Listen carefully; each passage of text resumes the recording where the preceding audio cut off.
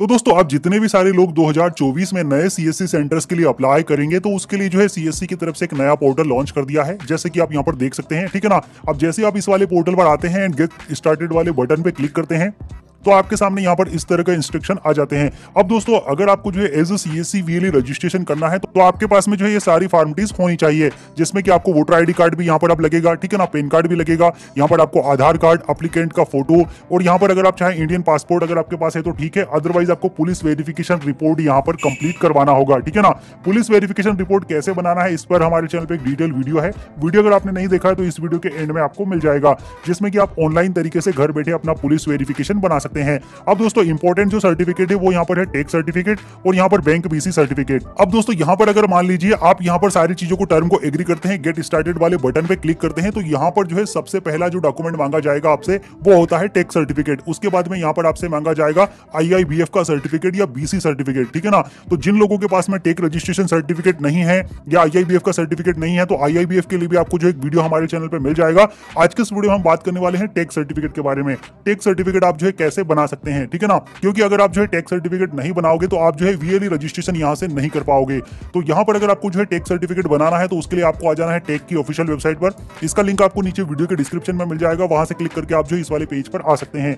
या तो आप जो है डायरेक्टली गूगल में सर्च कर सकते हैं टीसी रजिस्ट्रेशन सीएससी ठीक है ना? तो जैसे ही आप सर्च करेंगे, आपके सामने पहला ही वेबसाइट आ जाएगा तो आपको यहाँ पर क्लिक कर देना है। दोनों कंडीशन में आपको जो इस वाले पेज पर रिडायरेक्ट कर दिया जाएगा। तो यहाँ पर आपके सामने अगर दो ऑप्शन आते हैं तो आपको रजिस्टर्ड वाले बटन पर क्लिक कर देना है, ठीक है ना? अगर आपको डायरेक्टली ये पेज ओपन हो जाता है तो बहुत अच्छी बात है। लेकिन अगर आपके पास में दो ऑप्शन है तो आपको रजिस्टर्ड वाले बटन पे पहले क्लिक करना है। उसके बाद यहाँ पर आपके सामने न्यू यूज़र का एक फॉर्म आ जाएगा। इस वाले फॉर्म को आपको जो है फिलअप करना है। तो फिल कैसे करना है? जैसे कि आप यहाँ पर एक नोटिफिकेशन चलता हुआ भी देख रहे हैं कि जो भी आप यहाँ पर फॉर्म में जानकारी भरेंगे, वो आपके पास में जो भी गवर्नमेंट आईडी है, उसके अनुसार भरेंगे। क्योंकि अगर आपका यहाँ पर एक बार पंजीयन कर दिया जाएगा तो फिर उसको जो है बाद में किसी भी तरह से बदला नहीं जाएगा। मतलब मान लीजिए, अगर आप यहाँ पर अपने नाम में कोई मिस्टेक कर देते हैं मोबाइल नंबर में कोई मिस्टेक कर देते हैं तो आप उसको जो है सुधार नहीं पाओगे बाद में, ठीक है? ना तो जो भी इन्फॉर्मेशन आपको यहाँ पर भरना है आपका जो भी गवर्नमेंट आईडी है आधार कार्ड पेन कार्ड उसके अकॉर्डिंग आपको यहाँ पर फिल करना है तो यहाँ पर आपको सबसे पहले अपना नाम लिखना है मोबाइल नंबर यहाँ पर इंटर करना है ईमेल आईडी आपको यहाँ पर इंटर कर देना है उसके बाद यहाँ पर आपको जो है फादर्स नेम मदर्स नेम या तो पति का नाम जो भी आप लिखना चाहें लिख सकते हैं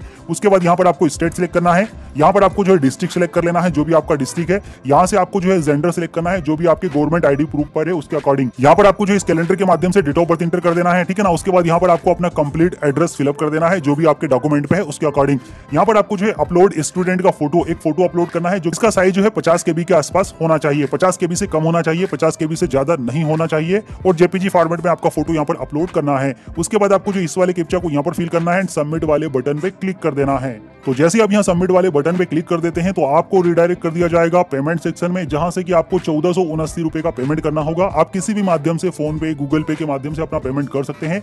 जैसे आप पेमेंट कर देते हैं तो आपको जो है पेमेंट करने के 10 से 15 मिनट के बाद आपका जो भी ईमेल आईडी आपने यहाँ पर प्रोवाइड किया है ना, उस पर आपको एक मेल भेजा जाएगा, जिसमें कि आपको एक यूज़र आईडी भेजा जाएगा और एक पासवर्ड भेजा जाएगा, ठीक है ना? और एक लिंक भी आपको भेजा जाएगा डायरेक्ट लिंक जिससे कि आप डायरेक्टली रिडायरेक्ट कर दिए जाओगे यूज़र लॉगिन वाले पेज पे, ठीक है ना? अब दोस्तों, अगर आपको यूज़र नेम और पासवर्ड मिल गया है तो फिर आपको क्या करना है? अब आपको जो है इसी वाले पेज पर आ जाना है दोबारा से। अब आपको यहाँ पर जो है लॉगिन का बटन दिखाई दे रहा है, आपको करना है यहाँ पर क्लिक यहाँ पर क्लिक करने के बाद आपको जो यूज़र नेम मिला है आपके मेल में यूज़र नेम डालना है पासवर्ड आपको यहाँ पर इंटर करना है एंड लॉगिन वाले बटन पे कर देना है क्लिक। तो दोस्तों, जैसे ही आप लॉगिन कर देते हैं तो यहाँ पर आपके सामने इस तरह का इंटरफेस पेज ओपन हो जाएगा। ठीक है ना? यहाँ पर आपको आपका यूज़र नेम लिखा हुआ दिखाई देगा, यहाँ पर आपका नाम, यहाँ पर आपका जो क्रिएट ऑन कब आपने जो है पेमेंट किया, वो डेट आपको दिखाई देगी लैंग्वेज आपको यहाँ पर दिखाई देगा। यहाँ पर आपको जो है आपका फ़ोटो दिखाई देगा, जो फ़ोटो आपने अपलोड किया था। अब दोस्तों, यहाँ पर आपको जो है दो ऑप्शन मिलते हैं डैशबोर्ड का, एक असाइनमेंट का। तो आपको क्या करना है? असाइनमेंट वाले बटन पे कर देना है क्लिक असाइनमेंट वाले बटन पे क्लिक करने के बाद आपके सामने जो इस तरह के असाइनमेंट आ जाएँगे, जैसे कि आप देख सकते हैं। यहाँ पर आपको जो है दस असाइनमेंट मिलते हैं टोटल अब आपको जो है पीडीएफ फॉर्मेट भी मिलता है, यहाँ पर आपको वीडियोस भी मिलते हैं, ठीक है ना? आपको जो है पीडीएफ फॉर्मेट को पढ़ना है और इन वीडियोस को देखना है। इससे आपको जो है, आपको टेक रजिस्ट्रेशन में जितने भी सारे आपसे क्वेश्चन पूछे जाएँगे, उन सभी के आंसर आपको यहाँ पर मिल जाएँगे। तो इन सारी चीज़ों को आप जो है पढ़ सकते हैं। इसी में से आपसे जो है सारे क्वेश्चन आंसर आपसे पूछे जाएँगे, ठीक है ना? जब आप यहाँ पर स्टडी अपनी कंप्लीट कर लेते हैं तो आपको जो है यहाँ पर एग्ज़ाम देना होगा। यहाँ पर जब आप सारे असाइनमेंट कंप्लीट कर लेते हैं तो फिर आपको स्टार्ट एग्ज़ाम वाले बटन पे क्लिक कर देना है और आपको जो है हर एक असाइनमेंट से दस दस क्वेश्चन पूछे जाएँगे। टोटल आपसे यहाँ पर सौ क्वेश्चन पूछे जाएँगे दस असाइनमेंट से, ठीक है ना? तो आपको यहाँ पर उनके जो है सही आंसर पिकअप कर देना है, सही आंसर आपको देना है सभी चीज़ों के, जो आपने पढ़ा है उसी में से पूछा जाएगा। अब जब आप यहाँ पर एग्ज़ाम को पास कर लेते हैं तो फिर आपको चले जाना है डैशबोर्ड पर।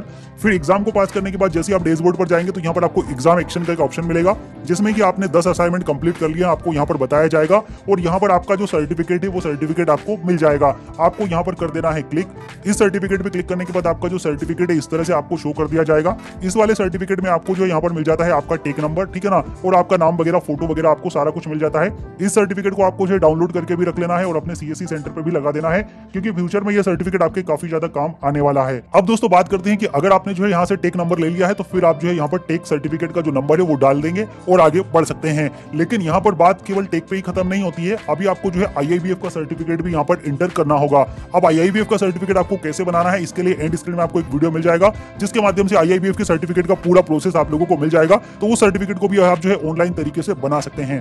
उम्मीद करता हूँ कि आज का वीडियो आप सभी के लिए काफ़ी ज़्यादा इन्फॉर्मेटिव रहा होगा, जो कि टेक सर्टिफिकेट बनाना चाहते हैं। तो अगर आपको जो है सर्टिफिकेट को जनरेट करने में किसी भी तरह का कोई इशू आ रहा है तो आप मुझे कमेंट सेक्शन में बता सकते हैं। किसी भी तरह की कोई प्रॉब्लम आ रही है, काफ़ी भाइयों का जो है पेमेंट हो जाता है, यहाँ पर उनको इधर आता है कि उनका पेमेंट जो है फेल हो गया है तो उन सभी को जो है वेट करना है। दस से पंद्रह मिनट के बाद आपको जो ईमेल आईडी आपने प्रोवाइड किया है, उस पर आपको जो यूज़र आईडी और पासवर्ड भेज दिया जाता है। तो इस तरह से जो है आप अपना टेक रजिस्ट्रेशन कर सकते हैं टेक सर्टिफिकेट आप यहाँ पर बना सकते हैं। आई होप की कंप्लीटली इन्फॉर्मेशन आपको जो अच्छे से समझ में आ गई होगी, फिर भी आपके मन में कोई डाउट है तो आप मुझे कमेंट सेक्शन में ज़रूर से पूछिए। मैं मिलता हूँ आपसे नेक्स्ट वीडियो में किसी नई इन्फॉर्मेशन के साथ। तब तक के लिए आप अपना ख्याल रखिए।